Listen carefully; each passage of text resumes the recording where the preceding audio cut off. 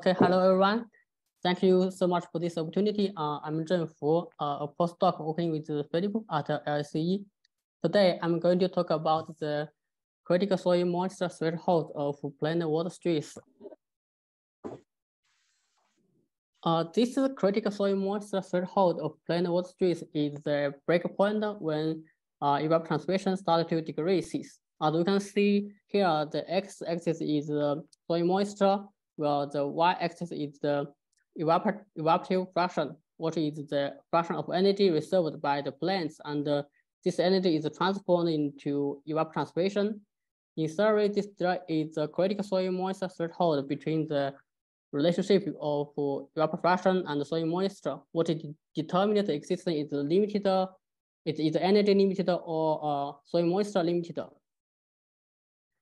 So when the soil moisture uh, decrease, the, the this threshold is the point at which at which uh, the plant start to transpire less because of uh, water stress when the soil moisture keep decreasing.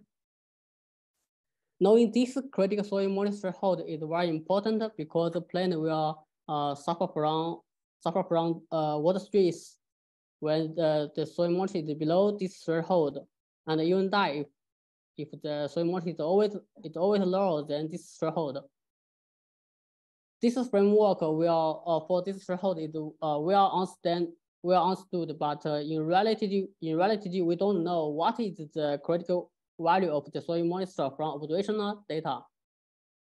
For ecosystem models, different uh, ecosystem models show the, the different relationship between evaporation and soil moisture at, at the same area as we can see in this figure. So different assist, ecosystem model show the different soil moisture thresholds. This difference is uh, from uh, ecosystem models contribute to the uncertainty of predicting a future climate, water sources, and land carbon sink. For, for observations, uh, ICOS and the Global FAST Network have collected many flux tower sites in the world. These flux towers, this flux tower site mirrors both the latent heat flux and the sensible heat flux, providing the opportunity to us to quantify the threshold using the relationship between uh, evaporation and soil moisture. For example, here we, uh, we can use the soil dry downs. We can focus on the soil dry down. Soil dry down means the, uh, the long periods with no rain. For example, during the dry summers, you can see here, uh, here the y-axis is the soil moisture, and the uh, x-axis is the days after rain. So after a rainfall, the soil moisture keep decreasing for several consecutive days. There are many, there are many uh, soil dry downs on this site and that can be used to detect the soil moisture threshold. So here we calculated the evaporation at these sites during the dry down and uh, look at the relationship between the evaporation and soil moisture. And then we can quantify this threshold based on the relationship between EF and the soil moisture. So for, for each uh, flux tower site, we can collect the all soil dry downs and quantify the threshold during the dry down, uh, we can see the evaporation, uh, this green line, uh, the evaporation remain remains relatively stable at the first, and but then decrease when soil moisture become lower than uh, the then uh, given threshold. So we can look at the evaporation and soil moisture relationship at each site and quantify the threshold. But the observations uh, these observations are still limited because uh, there are only few sites in some areas like tropical areas. And currently, we uh, there is no observed global map of evap evaporation. So we need to consider other methods to get the global map of soil moisture threshold. Another method has been reported to detect the soil moisture threshold is using the relationship between uh, land surface temperature, uh, diurnal amplitude, you can see here uh, the blue line uh, means the soil moisture uh, during the dry down, soil dry down, while the green line means the uh, means uh, the evaporation, and the red line means the uh, land surface temperature uh, diurnal amplitude, uh, DLST. So increasing the land surface temperature uh, diurnal amplitude in water limit stage can reflect the increased partitioning of surface energy towards to uh, sensible, sensible heat flux. Therefore, the land surface temperature diurnal amplitude DST uh, is uh, positively positively or positively associated with sensible heat flux, but negatively associated with uh, evaporation and soil moisture. So during the dry down, uh, the uh, keeps stable at first when the soil is high and then uh, increase, increases with soil moisture when soil moisture is below this threshold. So here we uh, using the flux tower to quantify the threshold uh, using the both uh, EF and soil moisture method and the delta ST uh, soil moisture methods. As you can see here, the panel A showed the uh, uh, the threshold using the EF and soil moisture method. And the panel B showed the uh, threshold using the uh, DS, DST uh, and uh, soil moisture method. On this side, we can see uh, this, this threshold from these two methods are very closely. The threshold is about uh, 0.19 for both the EF and soil moisture method and the DST and soil moisture method. And then we did this uh, the same analysis for all sites and compared the threshold from these two methods across all flux tower sites. We found the uh, the threshold estimated from the DST method is similar to uh, that of uh, EF, soil, EF method. So this method, the DST reshape can be used to quantify the uh, soil moisture threshold. Okay, so to map the global threshold, we use the three soil moisture products from satellite observations, including uh, SMAP, SMAP, SCAV, SMAP IB, and SMOS-IC soil moisture. Their uh, temperature resolution is one to three days. For land surface temperature data, we use the uh, the Copernicus uh, uh, land surface temperature and the MODIS uh, land surface temperature. So dry down uh, is defined as at least four or five consecutive overall passes for SMOS and uh, SMAP soil moisture respectively. So here is the distribution of global uh, DST and the soil dry downs and, uh, and the number of soil dry downs. We can see here the global pattern of DST from the MODIS data are much well with that of uh, Copernicus uh, LST data for the uh, number of uh, number of soil dry downs, we can see these three soil moisture products consistently showed the global patterns of the number of dry down per year. The areas with the most uh, with the most uh, dry downs are Central American, uh, Argentina, uh, Central Europe, and uh, the Eastern Australia.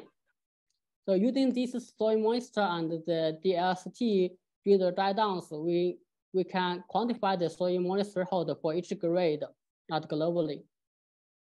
And we can see here the these three soil moisture datasets, SMAP IB, uh, SMAP SCAV, and SMOS-IC, and the two land surface, land surface temperature data, Copernicus and MODIS, consistently showed the consistently showed the uh, special patterns of global uh, critical soil moisture threshold. For each grade, we can estimate the threshold and its standard error. So uh, this is three uh, soil moisture data and two land surface land surface data combined with the the three uh, threshold estimates, which combined uh, yield 18 threshold uh, threshold is uh, ensemble members. The median threshold and uh, its uncertainty across this ensemble uh, can providing the uh, can provide this global mapping of the critical soil moisture threshold based on a symbol of different satellite observations. And we can see uh, the low soil moisture threshold is mainly uh, distributed uh, in dryland ecosystems like the West US and the uh, uh, uh, the Eastern Brazilian, and South Africa, and the Australia. While the higher soil moisture hold is mainly uh, occurred in winter in winter region, such as the tropical uh, rainforests. And then we also compared the, this uh, satellite uh, derived threshold in the global map with the flux tower derived threshold. We can see here the y-axis is the moisture threshold uh, from the satellite observations, while the x-axis is the threshold using the uh, flux tower data using a, a DST method or using the EF moisture method. We, we found the, the satellite derived soil moisture threshold is comparable to that estimated from flux tower measurements although their footprint are different. And then we also look at the threshold across different biomes. We found that the dry shrublands of the lowest threshold, well, it is the, the highest in, uh, in the tropical forests, existed in dry climate like the dry shrubland, dry grassland, and the dry savanna uh, have the lower threshold than uh, the uh, temperature temperature, boreal, and uh, tropical uh, climates. Forests have the higher threshold than that of no forest ecosystems, like shrubland, grassland, and savannas. The uh, threshold in cropland is crucial for the yield, but uh, the, the threshold in cropland is also uh, impacted by the by our man management. And we found the rice have has the house house uh, have the higher uh, threshold value compared to maize, uh, potato, and uh, wheat and wheat. These threshold, uh, threshold values are also tended to be uh, higher with the increasing irrigation, but uh, but this threshold uh, threshold value in cropland tended to decline as the function as the fraction of cropland increases. We can also see there are large variations in, in, in the soil moisture threshold, even in the same biomes, indicating there are other uh, factors determining the values. So we analyze the soil vegetation and the climate factors using uh, the random forest to understand the, the drivers of the global variability of soil moisture threshold. We found these predict, predictors can explain 74% uh, of the global variation in in the soil moisture threshold. And we found the aridity index, uh, leaf area, leaf area index and the, the sandy fraction contributing most to the global variation of the threshold. The area, aridity index is defined as the ratio of annual precipitation to uh, potential evapotranspiration. So the, the higher aridity index means the, the, the wet climate.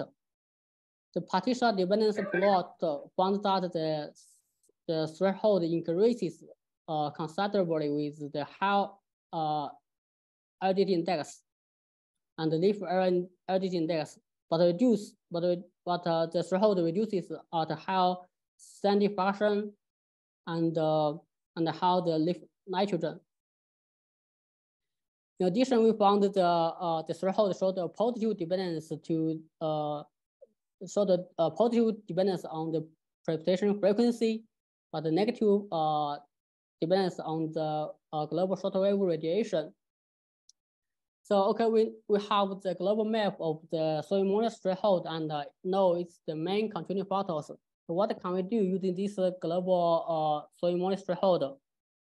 And this global, ma global map of soil moisture can help us understand to what extent exist what extent existing uh, water limited. For example, uh, here to explore how many days in a year that existence of water limited, we calculated the fraction of time when soil moisture is below threshold, defined as the, the ratio of the number of days when with soil moisture is below threshold to the total observed daily soil moisture in a year. And, and we assume that, that the global threshold is unchanged with time or has low temporal variance. So this, you can see here the satellite uh, observation soil moisture found that there are larger fraction of are larger fraction of time when soil moisture is below threshold in the in the in the water limiter in the water limiter ecosystems, such as the uh, West US, uh, South Africa, and the Australia. We also did the same analysis using the ERA5 reanalysis, reanalysis soil moisture data.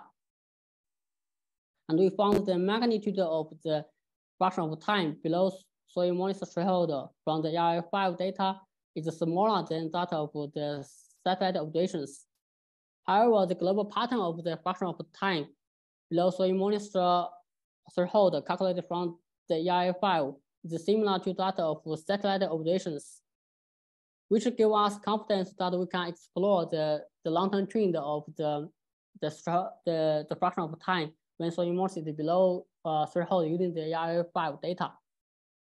So here using the EIA5 soil moisture from the 1979 to 2020, we found that the trend in the fraction of time when soil moisture is below threshold uh, has been uh, increasing over the past uh, 40 years indicating that traffic system is shifting more, more days, more time towards, towards water limitation. During the seven, uh, seven, uh, 1979 to uh, 2020, the increasing, the increasing rates of fraction of time when soil moisture is below threshold has uh, is increased four to seven days per decade. So uh, globally, uh, the faster increases the fraction of time, not only occurs in the dryland system like the Western US and South Africa, but also uh, distributed in the some uh, wet regions like the southeastern China. In conclusion, uh, we showed that the satellites observed the land, land temperature and soil moisture can be used to map global soil moisture threshold. All threshold values dominate in dryland systems, while the high soil moisture threshold values occurs in tropical rainforests. The global variation of threshold in natural ecosystems is most explained by aridity index, leaf area index, and soil texture. But the threshold in the cropland is also affected by crop types, irrigation, and uh, expansion areas. And last, the global distribution of the fraction of time spent in water limit stage has been linear increased during the past 40 years. Okay, that's it. Thank you for your attention. I'm happy to take any question.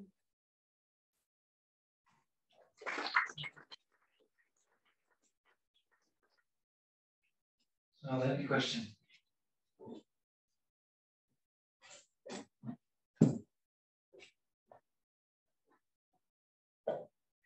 Uh, well, thank you for the presentation. Um, I have two questions. The first one is, uh, if I understand well, um, the soil moisture um, that is measured from satellite is only for the topsoil.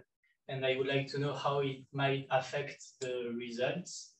And the second one is, um, uh, do you think it would be possible for um, this um, uh, data crate to evolve over time? I mean, uh, have you checked if uh, you um, uh, try to um, uh, assess that value um, uh, in different time period. If you find different value, it might evolve and with an adaptation of vegetation through time. Yes, yes, this is a very good two questions. For the first one, um, uh, we know the, the, the soil moisture in the deep layers uh, is the low passes and uh, the, the correlated well with the surface soil moisture. And uh, the recent uh, studies have showed the surface soil moisture of the same scale to identify the uh, evapotranspiration, evapotranspiration regions to uh, same as to the to the uh, deep soil moisture layer. So, so here we only uh, use the uh, surface soil moisture from the satellite data, but we can also do the same using the uh, the deep soil moisture layer from the ERA5 products. And for the second question, uh, yes, uh, yes, the threshold may be changed with the, the time. Um, you know, for the satellite observations of uh, for this map only covered the recent five years, so we cannot test the uh, the the temperature change of soil the soil threshold with the with the time. But uh, we test at one bus tower side, and we can see here at the different at the, as we can see in this figure, the we found threshold do not uh, uh, do not change much with the time. using the flux tower data. Okay, thank you.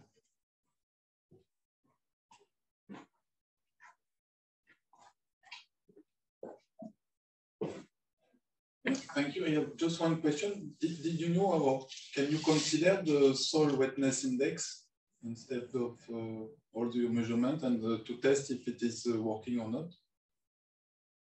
I don't know if you know the soil wetness. It's, no. It's from uh, Météo France, but it can be extended from other places. No, we, we don't uh, calculate the soil water index it just covered, it just gives you the percentage of uh, available water considering the soil and uh, the, the weather condition. Like the soil water potential or? Yeah. Yeah, yeah we tried with water potential. Especially yeah. Yeah, we're trying to calculate the soil water potential based on the the the uh the soil equation, to, but you know this equation to to transfer the soil moisture into soil water pressure bring to very large uncertainty to estimate the to estimate the soil water potential. And the aridity index is linked to the Budyko classification. Yeah, yeah, it's a P over PT. Yeah, you, you show that it works very well for evapotranspiration. Okay. Uh, what about respiration? Did you uh, try to find uh, some tipping point uh, in soil respiration during the dry downs, or are they too short to see any collapse of some microbes when the soil is drying out?